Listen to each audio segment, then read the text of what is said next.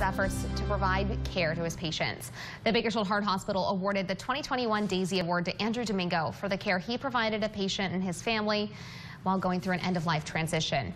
Domingo, a nurse in the critical care unit, was nominated by the sister of a patient who says he went above and beyond in caring for her brother. Bakersfield Heart Hospital says it's important to recognize the extraordinary care their nurses provide every day. For a full list of this year's nominees, head to our website, kget.com. This week is Hospital Week, another chance to celebrate and thank those who work